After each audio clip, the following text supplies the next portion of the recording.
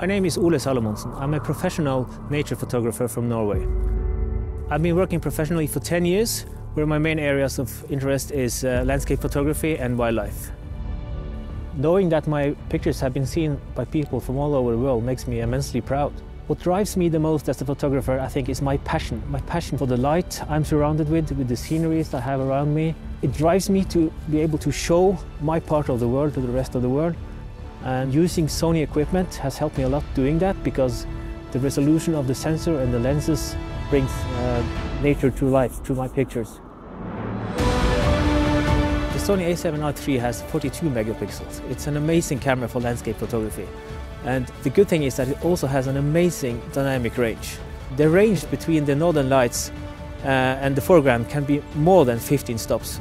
So the good thing about the A7R III, since it has a, such a good sensor, it's also close to being ISO invariant, which means that I, I can underexpose the picture deliberately, not to burn out the highlights of a strong Aurora display, and then I can raise the exposure later in post without adding any noise. The A7R is, uh, the sensor is, uh, is so good. I, I prefer um, actually pushing the ISO slightly and lowering the shutter speed to get more of the details in the Aurora, and this camera actually enables me to do that. I can go as high as maybe ISO 10,000 and still have a clean image and, and lower the shutter speed from let's say from 5 seconds to 1 second and then have much more details in, in the um, aurora light. Uh, living in Norway where I do, we, have, uh, we can have some pretty cold and harsh winters. So for me it's crucial that I know that my cameras are capable of operating in the environment that I work with. The size and weight of the Sony Alpha camera is just perfect for me.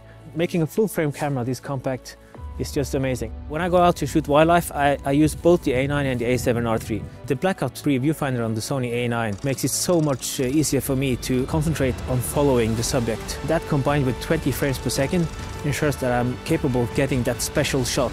You have to be ready. You have to try to predict where they're coming up. And uh, as soon as you see the, the nose of, just start shooting. I shoot at high speed at 20 frames per second, so and it's such an advantage being able to pick that one shot that is uh, spectacular. I love the autofocus of this of this camera. The, the hit rate I get is just amazing.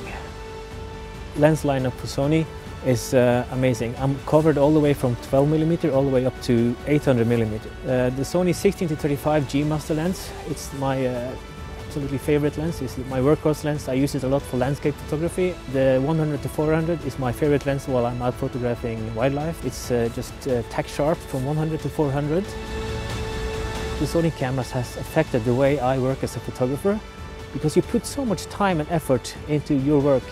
So when you come back and see, wow, I didn't think that picture would turn out sharp, but it's actually tack sharp. That is so amazing to see. So the sensors, the autofocus, for me this is as close as you get to perfection.